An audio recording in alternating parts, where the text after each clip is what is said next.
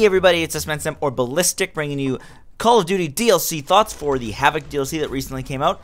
Uh, it's a little late. I mean, yeah. I mean, also it's gonna be late considering most people play this on Xbox, and I played on PlayStation 4, and then it's a week after it came out. So I mean, I get it, whatever. But I just like to get these thoughts out, and I like to do these videos because they're fun. They're fun for me because I do like Call of Duty. Is it's getting kind of loose on me anyway because it's apparently going to go to World War II. So yeah, I'll probably do thoughts on that in a bit. So we're talking about the four maps and the gun because we're not going to be talking about zombies. I did not play zombies because to be honest, I don't care that much. Like I have other things to play, so I would I just play the multiplayer and I'm like, let's that's enough for me. Like I'll play like a couple hours a day and be like, that's cool, that's fine, that's all I need. And we're gonna do it like how we usually do. We're gonna do an order of my favorite to least favorite. Uh, which is kind of hard with this one because I kind of have like a tie with several. So let's just get into this. Favorite is Drift. Drift is awesome. Has I don't know, just has a nice feel to it. There's a certain area in the middle with uh, the carousel and stuff. It just feels good in that area. There are several areas you can control where you still feel like you have the power position, but you can you can get screwed pretty easily. But it still feels like it because it's constant movement in that map, and it's it's all it's all cool and stuff. There are sniper positions. There's like close quarter areas for shotguns. There's like of course medium range, which is like every place you can go anyway. And it just, it's just an all around well designed map. Like the sides are are for the snipers basically, and the arguably the middle tower is. And uh, I mean, I've only played on Team Deathmatch because the way they set up the DLC stuff for this game is kind of shit.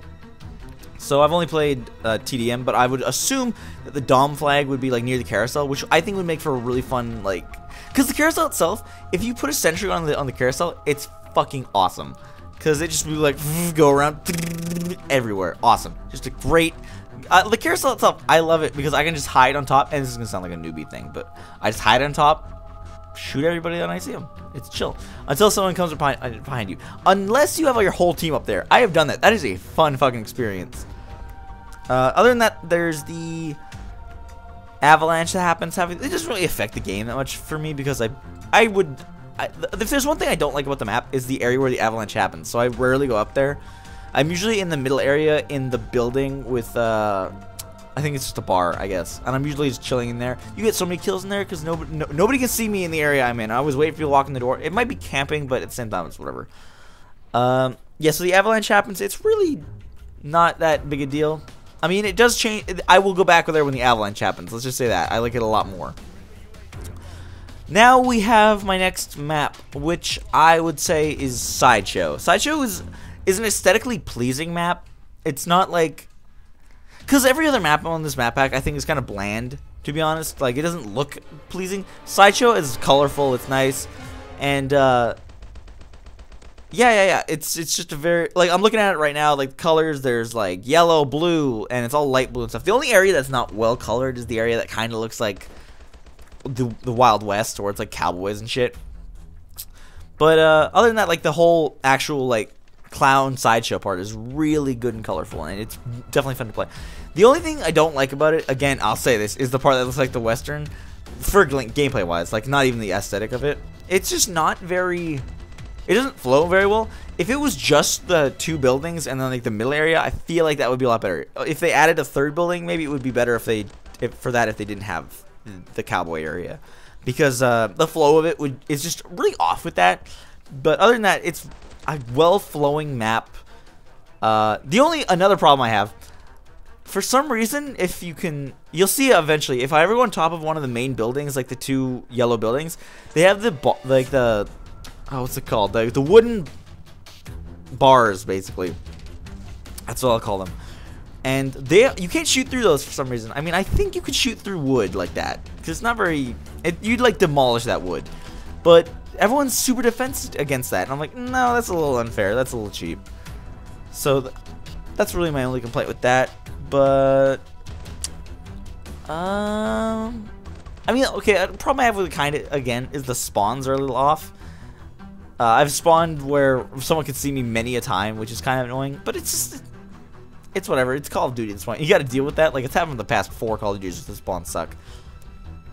Uh, the thing that happens on this map is the clown will shoot up bombs. I don't know if you see that in this gameplay, by the way, because it's not my gameplay. I should say that too, by the way, because I get my friends to get, give me gameplay. Uh, they shoot up the clown thing shoots up bombs that you can throw. That's actually really useful. I don't. I, I didn't think it would be. I was like, stupid. What a gimmick. If you if you know how to throw that shit, it's insta kill, 100%.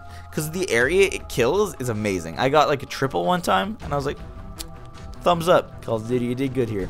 And it's it's just it's also another aesthetically pleasing thing on the map because you throw it and it lobs like the gas that looks like a rainbow. It's awesome. Uh, that's just really cool to me. And this is where it becomes kind of like the tie area because I don't know which one I like more. Uh, so I'll just say urban first. Urban is my third favorite. I'll say that right now. Urban is like I would almost say the Nuketown of this of this game. It's I think it's even tinier, arguably than Nuketown. So as you can tell from that, it's obviously a high action map. However, if you know where you're going, it's it's less frantic and more just like yeah, I know what I'm doing. So. For example, there are two side areas. If you're gonna go to one, you don't want to go to the one with the the raised platform. You should go to the one that has the purple area in front of it. You're probably going to see that.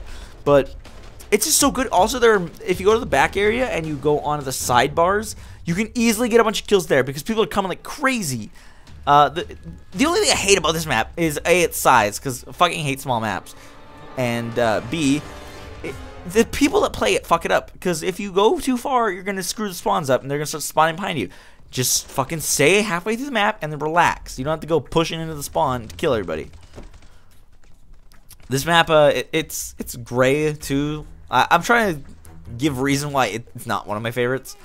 Uh, it, it's not. It doesn't look very good. It's pretty bland. It even has like one of that Modern Warfare 3 looks where it kind of looks hazy too. Like all the it looks gassy in front of you for some reason. Yeah, not really like my thing, but it's okay. I, I won't say I hate it. I don't hate any of the maps in this map pack, but I just I don't like some of them. I like Urban a little bit more than the other one. So let's jump into that one, I guess. Core is uh, it's not picked very frequently either. But uh, let's talk about the aesthetic first of all. It's all like really, it's because it's in a desert. It's gonna be really like sandy colors and shit. It does not look very good at all. Like it reminds me of playing Modern Warfare 3, and I don't, I didn't, did not like how Modern Warfare 3 looked. So there's that, and the fact that the action is never, I well at least for me, because there's certain things I, I like in a game where I can anticipate where things are going to happen. But on this map where you think shit's going to happen, does not happen. Like, A, it's too big, I almost think. I would almost say it's too big. But, and then two, two is like, what the fuck? Like, the flow and the spawns, like, the map is so big that people don't spawn anywhere. So if you're chilling out in an area, they're not going to spawn in the place you think they are. They're going to be like, oh, I'm going to spawn in a totally different area because guess what? I can because this map is so big. I can't even say there's a clusterfuck on this map ever. Sideshow, there can be a clusterfuck. Drift, there can be a clusterfuck. Urban, there can definitely be a clusterfuck. Core, I feel like you run into a person like every one once every five minutes. That's how it feels for me. So whenever this map is picked, I'm always like, no, I'm not, not gonna pick you. Yeah, Core isn't Core's not very good. So anyway, that's all the maps in uh, in uh, the the Havoc DLC map pack. I, am looking forward to another one. I mean, this one was good. I'm seeing because in in Ghost, Ghost had pretty good map packs. Uh, Advanced Warfare.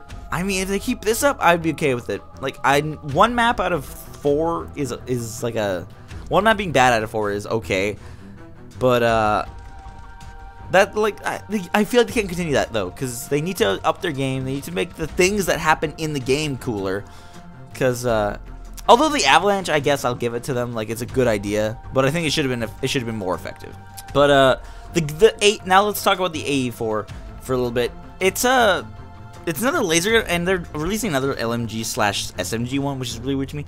But the AE4 is like I think they should make super cool guns for DLC. Like they shouldn't be normal because this one's the only difference is that it's a laser gun. Which I mean, whatever. It's a laser gun. It's basically just an, a rifle you don't have to reload. So I think that's meh. I think they should make these crazy. I think they should be like shoot discs, like that kind of shit. Like shoot like a saw blade. I that would be really fucking cool to me because that would be a totally different thing. No, you don't see that ever in the fucking Call of Duty franchise. So like having a gun that does something crazy would be really cool. Not something that just shoots lasers. Like that's a really quick thoughts on that. It's an average gun. Like there's nothing to it. So anyway, guys, that's all I'm gonna be doing for this thoughts video. I will see you guys in the future for our next pre-thoughts on the next DLC or the next general Call of Duty Advanced Warfare thoughts because I, I don't really know if it's worth it right now. I haven't really changed my thoughts. There's it's still a fucking fun game, which is uh more than I can say for a lot of other Call of Duties this time of the year. But uh, until, unless some next gen Call of Duty news comes out, then I'll do pre-thoughts on that. But thank you guys for watching, and I'll see you in the next video. Goodbye.